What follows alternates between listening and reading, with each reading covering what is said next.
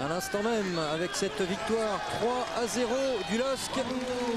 Alors on va voir, tiens, parce qu'on parlait de, de protocole euh, avant la rencontre, on va voir si les, les Lillois vont attendre euh, le retour vestiaire des, des petits joueurs de, de banlieue entre guillemets, de, de CFA, mais voilà, ils sont tous un peu la tête basse. Faire 3-0 à la maison, c'est toujours désagréable. hein. C'est difficile et puis c'est vrai qu'ils ont un championnat difficile et peut-être qu'ils espéraient à travers ce match euh, se relancer.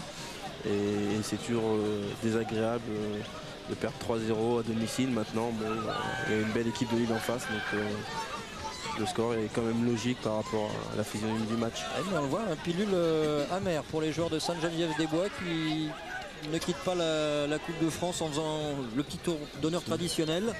Christophe? Oui, Euh, Aux côtés de Ludovic Aubragnac, auteur d'un très bon match encore ce soir. Ludovic, ça a été difficile en première mi-temps.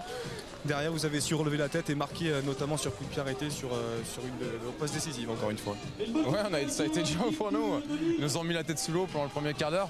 On avait pour objectif justement nous de, faire le pressing chez eux et, de le laisser dans, leur camp et de récupérer le deuxième ballon et de les mettre en difficulté. Ça, le- a été le contraire. On a, été acculés, on a eu des coups de pied arrêtés contre nous. Euh, ils ont eu plusieurs occasions pour, pour mener un 0 et ben, c'est vrai qu'à un moment donné on, s'est regardé et bon, il a fallu un peu calmer le jeu. Et, et imposer notre football tout simplement. On a, on a su marquer avant la mi-temps. On a encore vu l'importance des coups de pied arrêtés dans un match comme celui-ci. Mais voilà, c'est la Coupe de France, c'est toujours difficile. Et ce soir, un grand coup de chapeau à Sainte-Geneviève qui a fait vraiment un match euh, valeureux, courageux. Voilà, Merci beaucoup Ludovic. Bonne continuation pour le championnat de suite au, Mans la semaine prochaine. merci beaucoup. On a aperçu le, le protocole, cher à la Fédération française de football, cher à Daniel Bilalian, le directeur des sports de France Télé, cher à Patrick Godet, notre directeur à nous. Voilà, les professionnels ont raccompagné euh, les amateurs.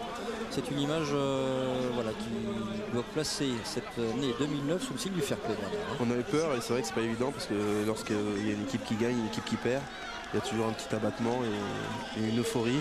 Et là, ils ont réussi. euh, Et regardez, ça c'est sympa, les, les jeunes supporters qui envahissent le terrain alors que les Lillois, eux, viennent euh, remercier les supporters, euh, les dogs, qui ont fait le déplacement pour voir cette victoire lilloise 3 à 0 ici dans l'Essonne sur le terrain de Sainte-Geneviève-des-Bois.